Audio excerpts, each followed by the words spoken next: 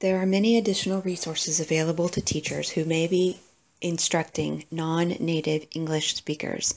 These include the resources through the WIDA Consortium, the Atlanta Public Schools ESOL Help page, the Georgia Department of Education guidance pages, the availability of free ESOL endorsement classes, and additional professional learning if it should be chosen.